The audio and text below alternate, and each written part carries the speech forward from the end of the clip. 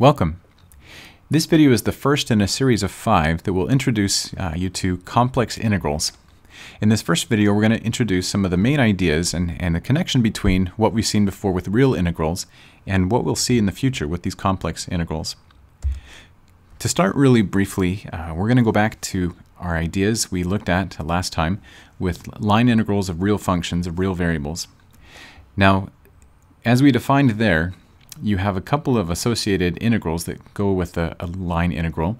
Uh, each is defined by taking a limit of a sum, and the sum is made up of a couple parts, where what we do is we imagine that you're, you're integrating along a curve C.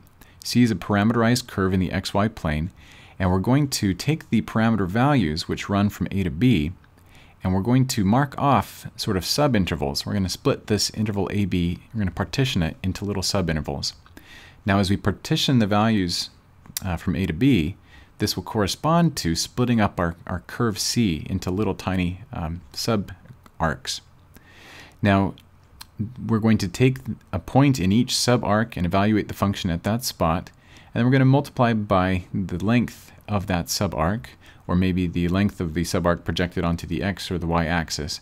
And in this way, we get sort of a little uh, area of a rectangle. We're going to add those up over the length of the curve, and then we're going to see what happens to that sum as we let the norm of the partition, the lengths of these larger subintervals, approach zero. So as you get more and more rectangles, basically, what does the value approach? And if the limit exists, we call that the definite integral. Now, as we talked about these uh, real integrals, we also talked about different kinds of curves you could be integrating along. We defined smooth curves, piecewise smooth curves, simple curves, closed curves, and, and so on. And then we said that when you went to evaluate a path integral, what you often did was parameterize the curve that you're integrating along. Uh, we're going to write that in terms of a parameter variable like t. And then we're going to go through and replace all of the variables inside your integral with versions that are parameterized in terms of that, that parameter variable, variable. And once we do that, we get an integral with just one variable, so we'll integrate it uh, like we normally would. Now when it comes to complex integrals, we have a lot of the same elements. We're going to start with a definition that looks very much like our definition of a path integral, or, or even of just uh, a real, very, real uh, function, the integral of a real function of, of one single variable. What we're going to do is uh, imagine that we have a, complex, uh, a parameterized curve in the complex plane. So before our curves were in the xy plane, now we're going to say that our curve C is in the z-plane, where x and y are just the real and imaginary parts of our uh, points. As before, we're going to, with our integral, imagine taking the parameter uh, values and breaking them up into little subintervals. And we're going to define the norm of p to be the length of the uh, largest subinterval that we've broken the interval from a to b into. Now as before, we're going to take a function value at a certain spot along the curve and times by this delta term. As, uh, as before, we're going to take our little sub-arc of the curve, pick a point z, zk star, we're going to plug it in. But now the delta uh, z sub k doesn't represent necessarily a length. What that's going to do is just subtract the, the two endpoints of your sub-arc from each other. And now you'll see that this is maybe not so much uh, a representation of, of an area of a rectangle because f of zk star could be a complex number, and this delta z sub k is not necessarily a length anymore, it's just a complex number as well. But as before, we're going to take that sum, we're going to see what that sum approaches as our norm of our partition approaches zero. And if the limit exists, we'll say the function is integrable, and we'll say that the uh, value of the definite integral is that limit. Now, as before, we're going to talk just a little bit about different types of curves you can integrate along. Uh, we have the same pictures before and basically the same definitions. We'll say that a curve is smooth if its derivative z prime is continuous and never equal to zero. So you're never actually starting or stopping on this curve. You're never making any sharp turns. Uh, intuitively, the picture is that you have a continuously turning tangent line as you travel along the, the curve. So the, uh, the curves on the, uh, the two top curves here are smooth curves. If a curve is not smooth, as these bottom two aren't, but you can um, form it by pasting together smooth curves, like you can here on the left and on the right. If you ignore sort of these, uh, these corner spots and you break this up into a two or three uh, smooth pieces, then we'll call the curve piecewise smooth. A simple curve is one that doesn't cross itself. So in other words, if you have two different times, your function, your curve does not occupy the same location at those two different times. Except possibly, we do allow the, um, the beginning and the ending points to be the same. So this uh, curve, because its ending point and its starting point are in the same place, but all of the other points are distinct, we would call it a simple curve as well.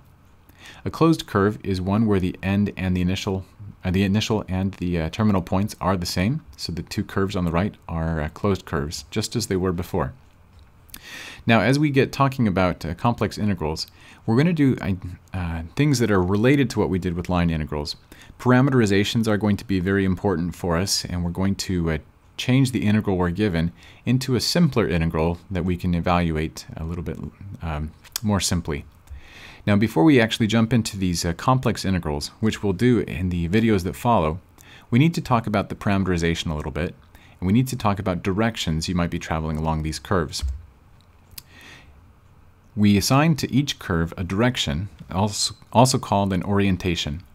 And there are a couple rules that we'll use to decide what the direction is, what the positive direction is. First, let's say that you have a curve that is given to you in a formula using the parameter value t, and we have a range of values that t runs over. When you're given a curve in this way, the positive direction is assumed to be the direction of the increasing parameter values. So in other words, if your initial point, capital A, corresponds to the lowest value of t, and your terminal point, capital B, corresponds to the largest value b that t takes on, the positive direction travels from that initial point to the terminal point.